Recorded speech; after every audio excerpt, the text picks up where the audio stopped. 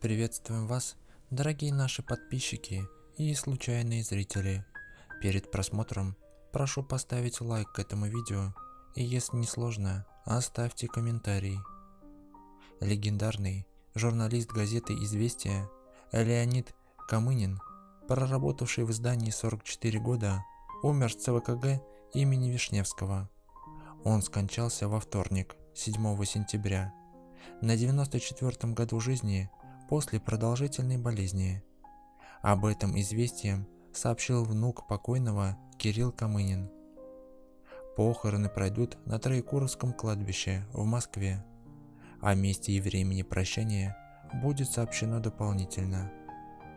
Папа просил не устраивать больших проводов, прощаний. Говорил, что почти все друзья, коллеги уже ушли и ждут его там – сказал известием сын усопшего Михаил Камынин.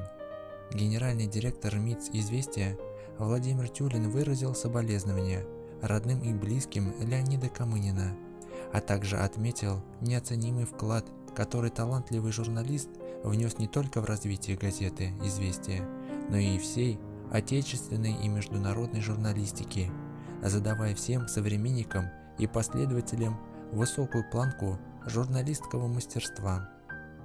Леонид Камынин работал иностранным корреспондентом.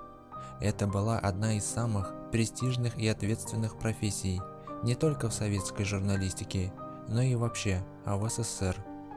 Куба, Чили, Аргентина, Перу, Боливия, о военных переворотах и других многочисленных катаклизмах Латинской Америки читатель узнавал от журналиста-международника Леонида Камынина.